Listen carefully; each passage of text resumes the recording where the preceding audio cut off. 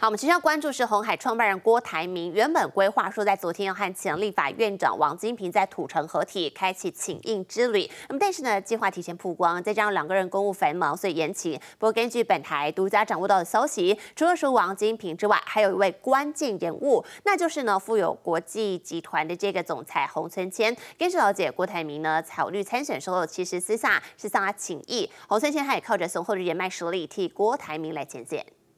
郭台铭原定十号邀请好友王金平领路，在土城开启情谊之旅，但两人会面见光死，只能延期。不过，根据本台独家掌握，当天相约合体拜庙的还有一名重量级人物，他是友富国际总裁洪存谦。能够长驻久安呢，他很乐意，呃，来效力。如果将来有机会，王院长能够当我们的总统。八年前，洪春谦力挺王金平选总统，登上新闻版面，不止和郭王两人熟识，更是和前党主席吴敦义交好。四年前，就是他帮忙吴郭牵线结盟，影响力不容小觑。根据知情人士透露，郭台铭这次起心动念，也曾找上洪春谦请意，还透过他牵线接触要角。当然，郭台铭手中王牌还是本土派大佬王金平，向他请教一些在台湾的这些。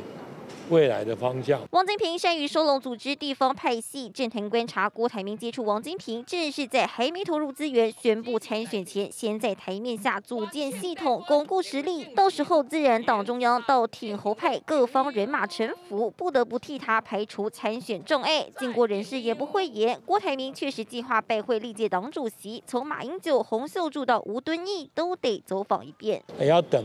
国民党他的办法要出来，郭台铭在等国民党的办法出来啊！外界认为不单单是指让他恢复党籍的办法，某种程度上呢，也是喊话国民党中央提出总统提名特别条例，确保让他在回党之后也能顺利参选。他不是不想参与初选，而是在初选之前也要了解。游戏规则。郭台铭接触政商界鸭子划水，国民党二零二四总统提名办法恐怕无法再一拖待变。记者焦国峰、曹廷涵采访报道。